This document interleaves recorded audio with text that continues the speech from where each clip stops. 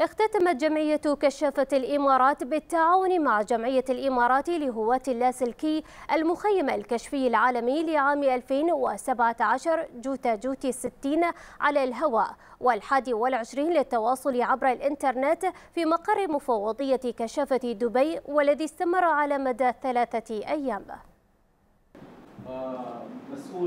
بمشاركة كشافة الإمارات التابعين للمفوضية الست على مستوى الدولة ومجموعة من الجولة من مختلف الجامعات رفقة نخبة من القيادات الكشفية. اختتمت فعاليات المخيم الكشفي العالمي جوتا جوت الستين على الهواء والحادي والعشرين على الإنترنت للعام 2017 طبعا هذا المخيم كشفي العالمي يكون في الأسبوع آه، الثالث من شهر أكتوبر كل سنة ونحن جمعية كشافة الإمارات نشارك في هذا المخيم الكشفي العالمي آه، لكي نعرف جميع العالم بحركة الكشفية في دولة الإمارات العربية المتحدة بشكل عام وكل مفوضية من المفوضيات اللي تابعة لها بشكل خاص.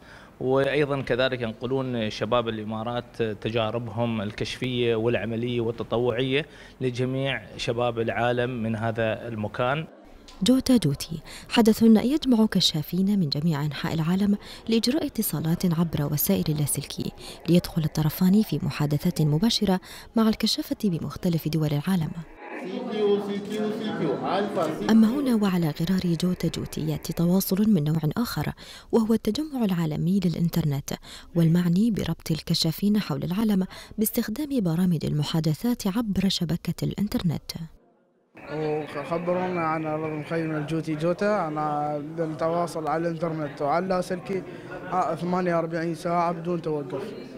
استفدت أني أتعلم على اللاسلكي نتعرف على الناس كلهم اللي في من بلادي وبرا بلادي. تعلمنا كيف نتواصل ويا اللاسلكي ويا كيف نقول لغة اللاسلكي ال alphabetical هذا ويهدف كل من هذين التجمعين الكشفيين إلى تمكين وتشجيع كشافي العالم على التواصل مع بعضهم بعضا بالإضافة إلى تزويدهم بخبرات كشفية مع تعزيز انتمائهم للحركة الكشفية العالمية.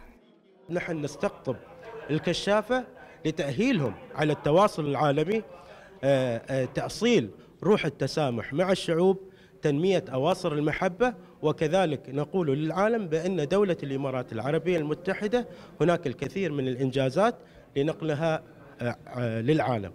يذكر أن جمعية كشافة الإمارات ومختلف المفوضيات على مستوى الدولة يشاركون بفعاليات المخيم الكشفي العالمية لما للمخيم من أهمية في إبراز الحركة الكشفية في دولة الإمارات وتنمية أواصر الصداقة وتبادل الخبرة بين كشافة العالم.